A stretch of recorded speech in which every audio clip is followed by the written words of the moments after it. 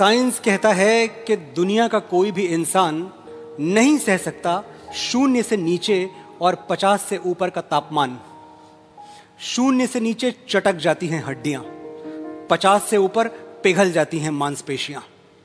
तो फिर ये लोग कौन हैं जो सियाचिन के ग्लेशियर पर माइनस थर्टी डिग्री में तिरंगे के तार कस रहे हैं? ये लोग कौन हैं जो बाड़मेर के रेगिस्तान में बावन डिग्री पर ठहाके